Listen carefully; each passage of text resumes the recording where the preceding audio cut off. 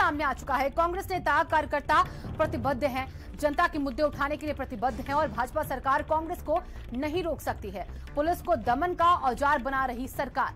दूसरी पार्टियों को आवाज़ उठाने से रोक सकती है। हमारी पार्टी को नहीं रोक सकती सरकार। पुलिस ने हमारे पदाधिकारियों को उठाया है। अल्पसंख्यक विभाग अध्यक्ष को उठाया, रात के अंधेरे में उठाया। पहले हमारे प्रदेश अध्यक्ष को जेल में रखा, फर्जी आरोपों में चार हफ़्ते जेल में रखा, फिर ये पुलिसिया कार्रवाई दमनकारी है। ये पुलिसिया कार्रवाई अलोकतांत्रिक है, प्रियंका गांधी ने ये ट्वीट करके कहा है। संजय सिंह चौहान, संवाददाता जुड़ चुके इस खबर पर, ज़्यादा जानकारी के साथ। संजय, देखिए, पहले तो कांग्रेस की कार्यकर्ताओं का हंगामा प्रदेश अध्यक्ष का हंगामा, अब प्रियंका गांधी भी हंगामा कर रही है।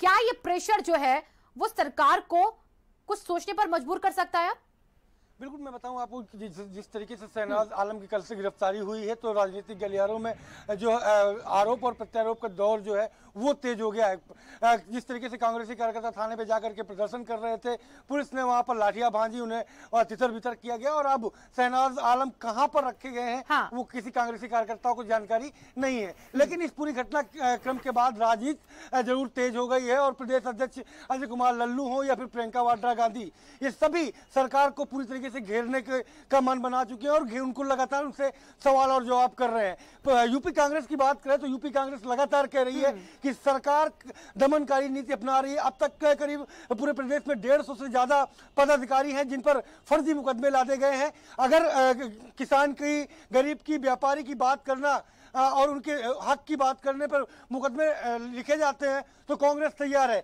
ऐसा अजय कुमार लल्लू ने भी इस बात को जो है साफ़ तौर पे कहा है कि कांग्रेस अब और ज़्यादा तेज धार के साथ सरकार को घेरेगी और सरकार से गरीब मजलूमों के हक के लिए लड़ाई लड़ेगी। तो ये योजना बन रही है। आगे की क्या योजना आज कांग्रेस की बैठक होगी यूपी कांग्रेस की और किस तरीके से शहनवाज आलम के मुद्दे पर सरकार को घेरना है सड़क से लेकर के सदन के पटल तक घेरने की योजना बनाई जा रही है। तो कांग्रेसी कार्यकर्ता कहीं ना कहीं लगातार मुकदमों से रोष में आए हैं और वो सड़क पर उनके जो है प्रदर्शन लगातार देखे जा रहे हैं। चलिए बहुत बहुत शुक्रिया संजय तमाम जानकारियों के लिए फ़िलहाल आपका।